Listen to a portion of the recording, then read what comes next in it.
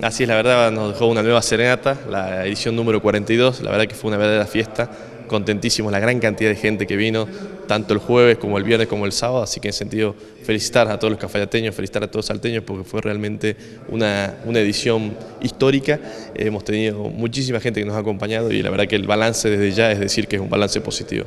¿Pero las expectativas que tenían? Totalmente así fue.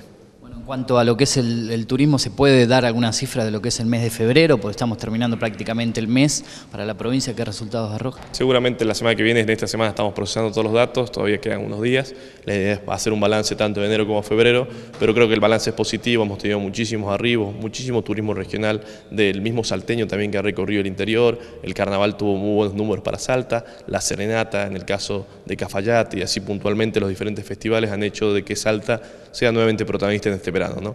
Noticias muy lindas como fue el vuelo Salta-Lima, sin duda alguna ha hecho de que esta temporada sea histórica con ese anuncio, así que contentísimos porque ese anuncio a través del presidente y a través de nuestro gobernador, el doctor Urtubey, va a hacer de que Salta se siga consolidando como el eje aerocomercial del norte argentino. La última, a futuro, el Festival de la Chicha en marzo, lo más destacado que se tiene también en cuanto a turismo. Así estamos ahí nomás del festival, que es el que de alguna forma cierra y engloba todo el, corolario, podemos decir, de festivales, así que en sentido a través del Festival de la Chicha en la Caldera se hará el, el, cierre final de esta temporada que realmente con todos estos festivales, con todos los carnavales, corsos, ha sido súper exitosa.